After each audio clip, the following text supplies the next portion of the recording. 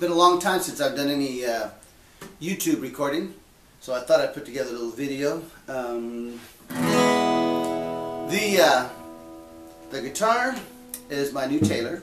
I've had it for a little while now, and I've already broken a couple strings off it and restrung just those strings. But I'm due to change all the strings, but I've been kind of slacking off on that lately. Um, there's an old song of course, I always do old songs. I love them. I love the 60s and 70s. And Stealers Wheel had a tune out called uh, Stuck in the Middle with You. So I thought I'd give that one a try. In order to do that, I have to take the guitar out of tune.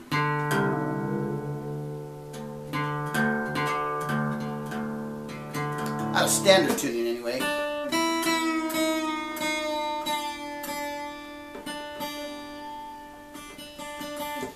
Now it's in tune, but it's in uh, drop D, and I've also dropped the high E string down a whole step. And it kind of gives us this, uh, this little flavor.